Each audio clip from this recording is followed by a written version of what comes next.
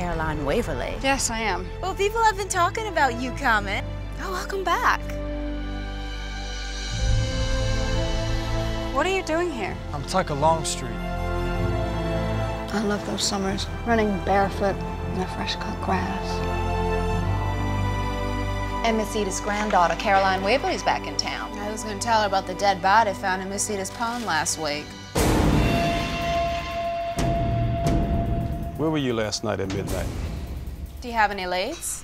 The investigation is ongoing. Edda Lou's dead, murdered. Her body was found at the McNair Pond, same way Arnette was killed. You dated both those women, Tuck. I didn't kill those women. I want to see to it nothing happens to you.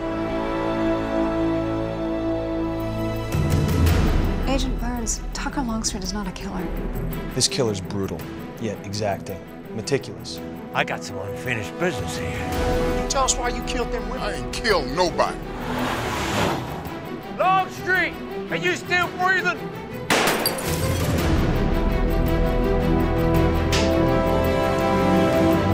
That's one barrel. Other one's for you.